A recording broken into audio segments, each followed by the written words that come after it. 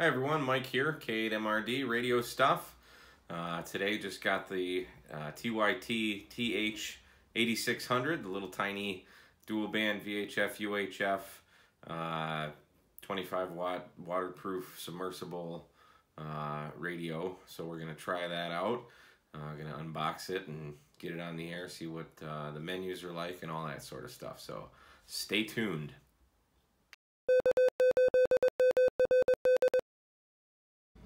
Okay, let's see what's inside. Got TYT user's manual, probably uh, same Chinese to English conversion we're all used to from these Chinese radios, but we may or may not need that, who knows. Got the programming cable with it and disk that will uh, most likely get immediately thrown away as my Mac does not have a drive. They're kind of obsolete. Get the, uh, well, it's been verified. Yep. Gotta have the certificate of authenticity there. Uh, this would be the power cable. And one thing to note, I watched uh, Ham Radio 2.0's video on this. Um, I think his is a couple years old. It's uh, April 16th, 2018 when I'm making this and he noticed that this cable, the black and the red, were backwards. And it appears they have fixed that. Let's see if I can get the light in there. That little nub right there uh, gets connected like such. So you've got your watertight seal there. So that's good to know. Um, we'll put our Anderson power poles on here uh, before we fire it up for the testing. Got your mounting bracket here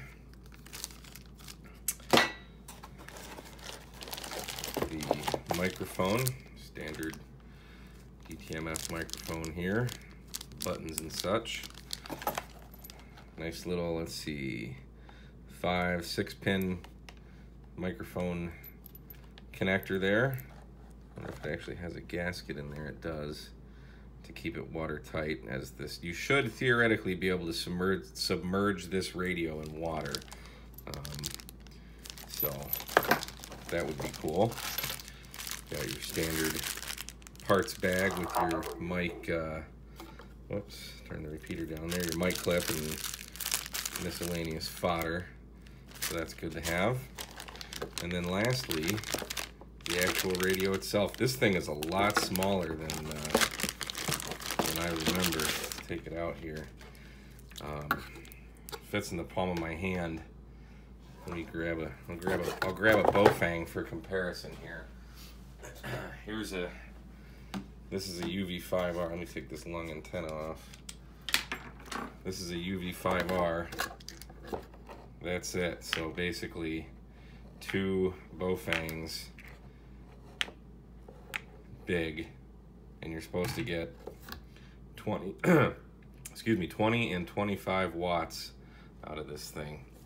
So Pretty nice though. This is all metal. It, it has some weight to it. A fan. Uh, this right here. Turn it around. if this light is worth it. Nope. Um, this keeps everything watertight. Your phones, you know, for an external speaker, headphones, or whatever, and then your USB programming cable gets plugged into there. Um, I'm pretty impressed. I was actually looking at the uh, the QYT KT8900D versus this because I wanted that quad watch function, but the reviews just weren't enough to entice me. So I ended up going with this. I paid under a hundred dollars for it.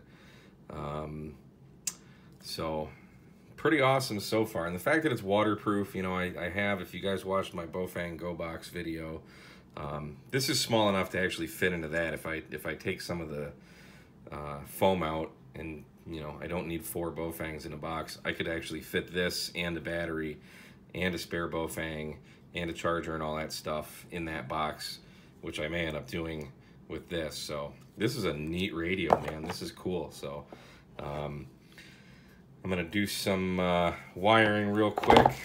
Gonna put the Anderson power poles on here and get her fired up. I may actually just plug it into the battery and uh, we'll turn it on and see what we can get.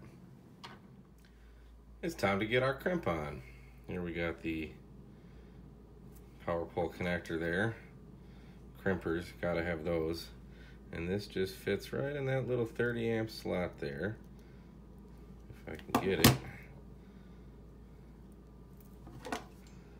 Uh, how does that go? Yes, that. In, and squeeze, squeeze, squeeze your way to firmer hips and thighs. That's one. Let's see if we can reproduce our results. Tweak this wire a little bit. I had to trim the wire just a touch. Squeeze that back in there. And then we'll take this other guy here, see? Like such. Get it nice and perfect. And then here again. And that's all there is to it. Crimping is awesome. And then, if we didn't screw it up, we should be able to fit red, whoops, in the red. That's the click of success right there. And the black, and the black, like that. Power poles are the best things in the world. Okay, so I got the power poles hooked up. Uh, I did cheat and turn it on. I programmed a couple uh, repeaters in here, and it was not too hard. I did not need the manual to do it, so that was pretty cool. So let's turn this on. These buttons, by the way, are really tiny. I have stupid fat little Tootsie Roll fingers, so it's not very easy for me, but a lot of the stuff you can do on the on the microphone, by the way, which is, let me show you real quick. That's the microphone. It's a pretty beefy microphone. Um, they're IP67. Um, it's got a good weight to it. Um, so let's see how it sounds. See if we can get one of these uh, I get off. There may or may not be a net on this repeater, the 8.4 repeater. it's having some problems, so I'm gonna get off of that and just get to some random frequency that hopefully no one's on. And then this is the South Lyon repeater. Uh, so let's see if we can check in and see how this thing sounds. K8 MRD testing.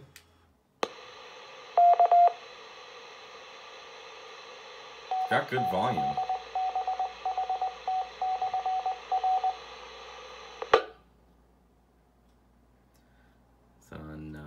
you can't really see the screen. The backlight, I, I can't figure out how to turn the backlight down to get a better uh, view from the screen, but it's on high power. You can see the little H there, and there's a W next to the H uh, for wide, and then the T is for the tone, and you can see the little plus there for the offset. Um, let's go. Let's play with the menus here. So all of this stuff you can do here. That's that's quality video making right there. If you hit this menu button, you'll go to the menu. You can go up and down. Uh, hit menu again. It'll bring you into the radio settings or radio info. I wonder what that is. Uh, oh, that's just showing the firmware version. Okay. And then the top VFO button right here, that's the back button, oddly enough. Um, and these these numbers these are weird. They they're backwards. This should be up and this should be down, I feel. But they're not, so that'll take some getting used to, but whatever. It is what it is. Um, function, you can, so these, if you hit function, I can't, I don't know if you can see, if you watch the L, you hit function 8 and that changes the power. So you got high, mid, and low. So that's pretty neat. Function one is scan. Pretty slow scan. Hit function again. Let's see. Oh, I'm in VFO. I want to go to memory. Is that the repeater I want to be on? I think so. No. Maybe I didn't, uh, maybe I didn't program that repeater in 147240. That I don't think is the repeater. Maybe it is. I don't know. But that was the South Lyon repeater, I think. And uh, yeah, it's a pretty neat radio. I wish someone would come back to me. Let me make sure I got this program. We'll see if someone gets someone on the air here so you can see what it sounds like. All right, kids. So we're back here at Bloomer Park. I've got uh, a couple things. I've got the TYT 8600 and I just purchased yesterday, Mother's Day, at Harbor Freight. Because what says Mother's Day like a sale at Harbor Freight? Uh, I got the 13 watt solar briefcase and the solar charger regulator. So I got that all hooked up. and I'm gonna throw my J-pole up in the tree. We'll see if we can make a contact on one of the repeaters and uh, see how this all works together. I'm gonna, which means I'm gonna have to make another go box. I'm gonna have to make a a little go box for this THT. So throw the camera on the tripod, tripod, and uh, we'll get at it.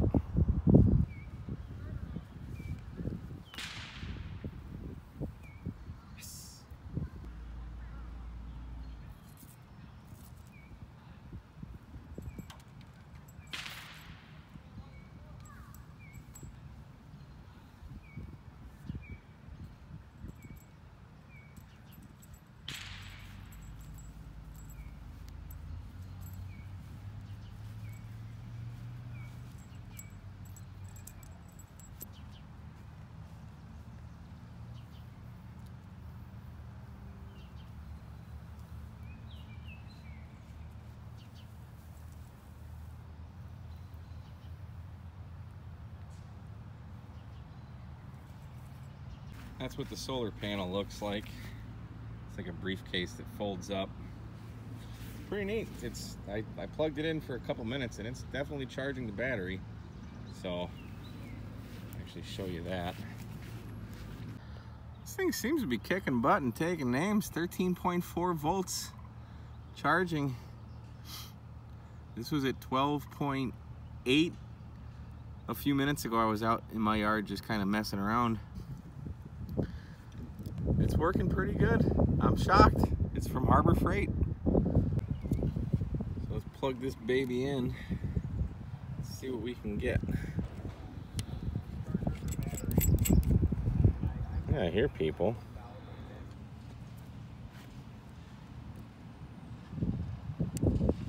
K8MRD. Anyone around for a quick signal check?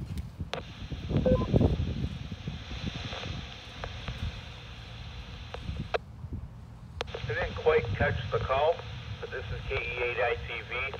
You sound good over here on Westland.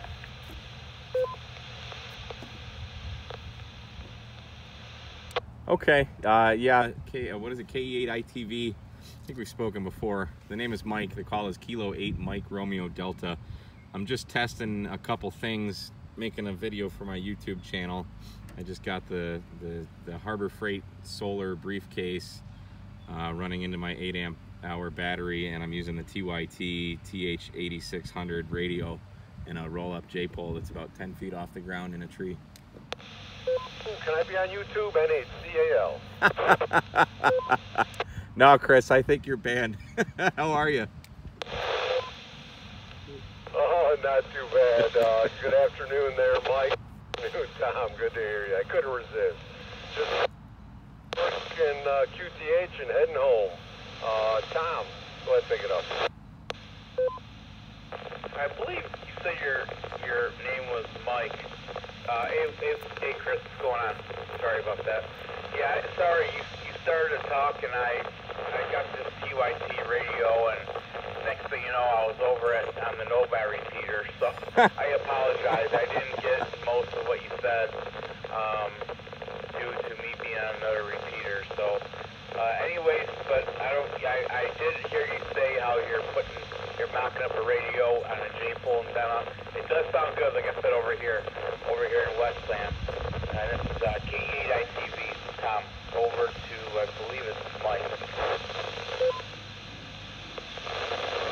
Okay, yeah, I'm I'm using this roll up J pole. I never use it, and I'm I'm getting like zero to one bars. So uh, hopefully I'm making it out. I'm not that far. I'm, I'm out in Bloomer Park on uh, like Haggerty and Richardson area. So I'm probably 10, 11 miles from the repeater as the crow flies. But yeah, I'm running battery power uh, with a TYT 8600 and uh, a Harbor Freight the 13 watt solar briefcase. Just just trying this stuff out for uh, for a YouTube video. Okay, cool. I'm curious. Uh, the video. I'm curious to see how you hear how you like that briefcase deal. Uh, just to get, just so you know, you got about noise on your signal that Tom does there, Mike. So uh, just to give you an idea, uh, Tom. Okay. Yeah, good deal. So yeah, I'm kind of curious to know how that thing works uh, myself. Um, so yeah, good deal. Yeah, it sounds good over here. So over to you uh, from TE.TV. Well, I'll tell you what, I was messing around with it earlier. I just got it yesterday, and, and I was uh, not even planning on bringing it out today, but because it was calling for rain all day, and then the sun came out, so I thought I'd screw around with it. When I first came out, this battery had uh, like 12.8 volts, um, and after charging for a few minutes, it was up to like 13.4. So it's it's doing its work. I put it on a um, a, a watt meter, um, and or a multimeter rather, and it was putting out like 14, uh, about 14 and a half volts uh, when the sun was hitting it. So it's it's got a little bit of promise. I got it hooked up to the like the 25 dollar 100 watt solar charge regulator. Uh, and it seems to be doing the trick. So hopefully it'll work for my HF rig too. Oh, okay, very cool. That is uh, that's definitely uh, good to know. Yeah, because I know a lot of uh, a lot of the guys carry those roll-up solar mats, uh, a little bigger. Uh, I'm not sure exactly what the wattage is or the output is on them, but uh, I'm sure you've seen those. Mike uh, W8MSC, he, he has one. It's basically like a beach, uh, about the size of a beach towel. It, un- it unrolls, you know, rolls up with some Velcro and kind of small, about the size of a, uh, oh, I don't know, a coffee uh, thermos, you know, and then uh, rolls out to about the size of a big beach towel, and it's got all those solar panels on there. But I'm sure that one's probably quite a bit more pricey than the Harbor Freight model. Uh, Tom?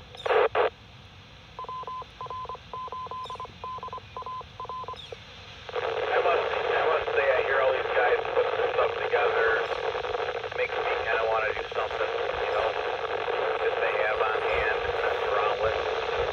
That, that's pretty cool to be able to take that, you know, out to a park and set it up.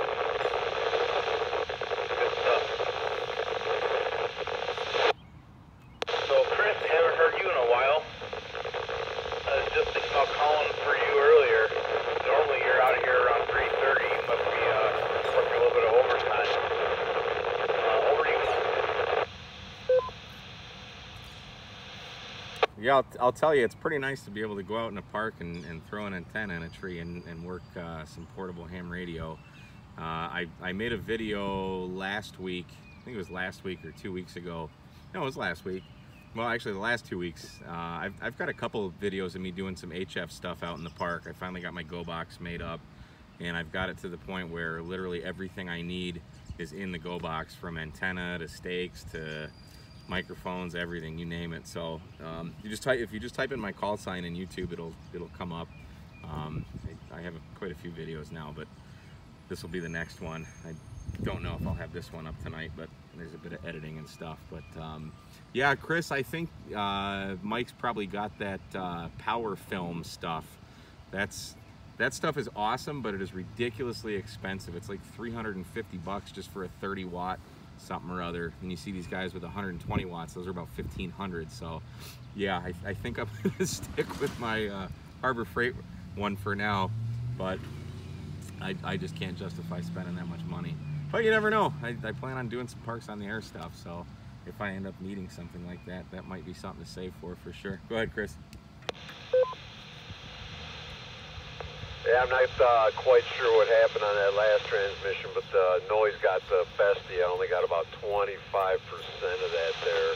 Uh, but uh, yeah, those uh, those uh, eco cells are ridiculously expensive, and uh, they've found some alternatives uh, which are a lot cheaper. And they're they've been uh, like Eric, I know Eric KDRS, he went ahead and purchased putting a pack together, and it was a lot, lot, lot cheaper for a lot bigger cell. So that's another option there. But uh, but yeah, it's uh, I saw that video you uh, you put together where you and Jason went out to the park. That was pretty uh, cool. and I saw the one where you got your FT uh, your 891 and your first contact was the ARRL. That was kind of cool too. So. But uh, yeah, something happened on your last transmission. The noise got the better of you there. So uh, uh, Tom K8 ITV, go ahead and pick it up N8CAL.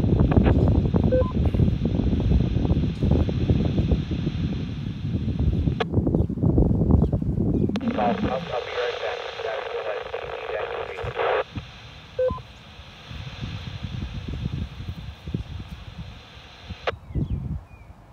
All right, seven three, Tom. Hey, Chris, I'm gonna sign. I, I I don't think this antenna is working very well, like it should. It's it's probably 15 feet up in the tree, maybe. Yeah, maybe not quite that much, and I don't know what the deal is. But hey, thanks for coming back. Thanks for watching the videos. I'll let you know when this one's up. Uh, I can't remember your call. N8CAL K8MRD. I'll be clear. All right, 73, Mike. Yeah, you're uh, you were real good in the very beginning. You said you're gonna go ahead and call it, and then uh, and then you got noisy, and then you said you'll let me know when you put the next video up. So yeah, it's kind of going in and out. So I don't know if it's uh, the antenna or loose connection or what, but uh, it, it's kind of working. It's almost there. So 73, good hearing from you. We'll uh, catch you down the log. N8CAL's uh, standing by.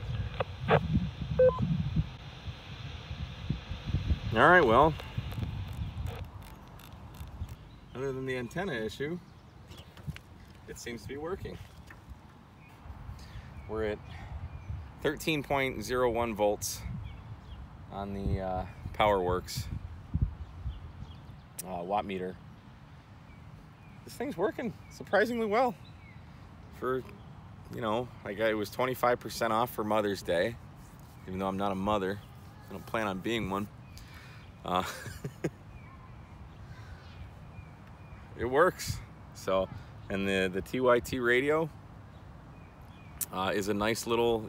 I'm gonna get probably one of those smaller, the smaller one of these, like that I have for the Baofeng Go box, and uh, probably just make a little Go box out of this, maybe with like a five amp hour battery or something, so it's a little bit smaller. Or I might take this eight amp hour battery and put it in that, because I still do want to get that Dakota Lithium uh, 10 amp hour LiFePO 4, whatever it is. And if you use the Hashnasi code, I guess when you're checking out, you save five bucks, so that's pretty neat.